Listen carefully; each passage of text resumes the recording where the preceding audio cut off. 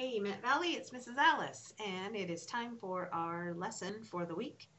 That is um, one more time we're talking about integrity here at Mint Valley, and I have a super great story to share with you today that has a lot um, to do with integrity, and um, I'm ex- so excited to share it with you. It's one of my favorites.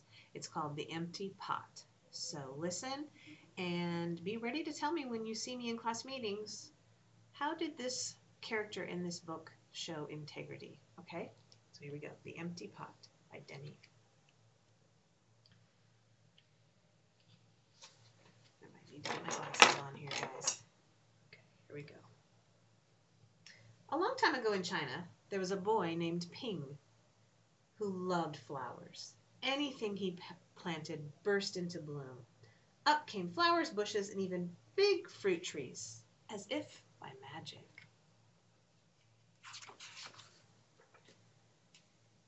Everyone in the kingdom loved flowers too. They planted them everywhere, and the air smelled like perfume.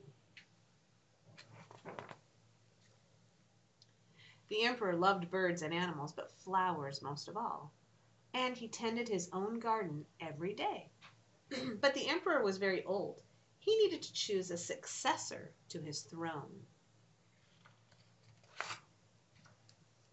Who would his successor be? And how would the emperor choose? Because the emperor loved flowers so much, he decided to let the flowers choose.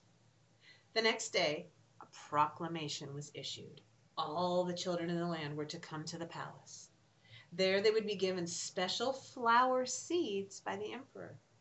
Whoever can show me their best in a year's time, he said, will succeed me to the throne. That means they would get to become the new emperor. The news created a great excitement throughout the land. Children from all over the country swarmed to the palace to get their flower seeds. All the parents wanted their children to be chosen emperor, and all the children hoped they would be chosen too. When Ping received his seed from the emperor, he was the happiest child of all. He was sure he could grow the most beautiful flower. Ping filled a flower pot with rich soil. He planted the seed in it very carefully. He watered it every day. He couldn't wait to see it sprout, grow, and blossom into a beautiful flower. Day after day passed. Nothing grew in his pot. Ping was very worried. He put new soil and put it in a bigger pot. Then he transferred the seed into the rich black soil. Another two months he waited. Still nothing happened. And by the whole and by and by a whole year passed. Spring came, and all the children put on their best clothes to greet the emperor. They rushed to the palace with their beautiful flowers, eagerly hoping to be chosen. Ping was ashamed of his empty pot. He thought the other children would laugh at him because for once he couldn't get a flower to grow. His clever friend ran by holding a great big plant. Ping, he said, you're not really going to the emperor with an empty pot, are you? Couldn't you grow a great big flower like mine? I've grown lots of flowers, bigger than yours, Ping said. It's just this seed won't grow. Ping's father overheard this and said, You did your best, and your best is good enough to present to the emperor. Holding the empty pot in his hands, Ping went straight away to the palace. The emperor was looking at the flowers slowly, one by one. How beautiful all the flowers were. But the emperor was frowning and didn't say a word.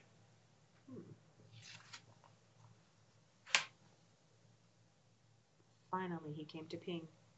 Ping hung his head in shame, expecting to be punished. The emperor asked him, Why did you bring me an empty pot?